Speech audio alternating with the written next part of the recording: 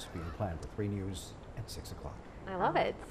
Okay, Wonderful. thank you. Thank you, Rudy. Well, before we let you go, we wanted to share with you also a fun story out of New Jersey. A high school or high school students there are helping their local police department by designing an obstacle course needed for training canines.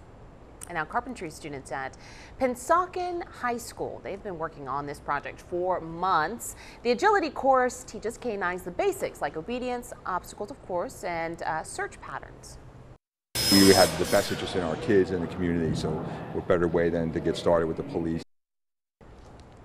The carpentry program is part of the school's career and technical education, which includes welding, electrical, construction classes, and others. In May, there will be an official ceremony to present the obstacle course just in time for National Police Week. Well, thank you so much for joining us. Join us again at 6.